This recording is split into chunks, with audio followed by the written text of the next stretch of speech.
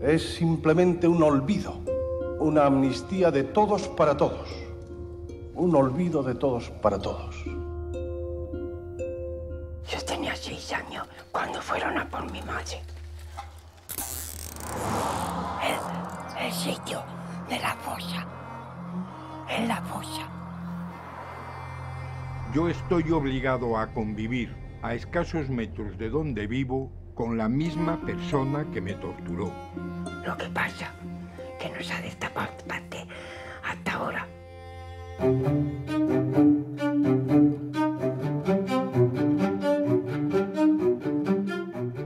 No hay pueblo en España donde no haya víctimas del franquismo, ¿no? Queremos a nuestros hijos, vivos o muertos.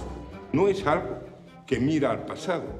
Estamos peleando por el futuro. Es la primera vez que ante sede judicial la voz de las víctimas se va a escuchar y se escucha por a 10.000 kilómetros de distancia de nuestro país, ¿no?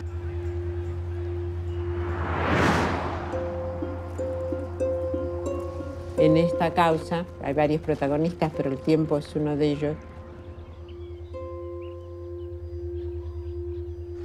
Nosotros y centenares de miles de víctimas nos han negado el derecho a la justicia.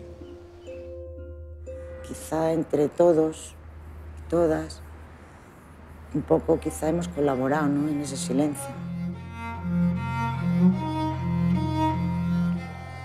Resulta que es la vida, no la vida, lo humano, somos injustos.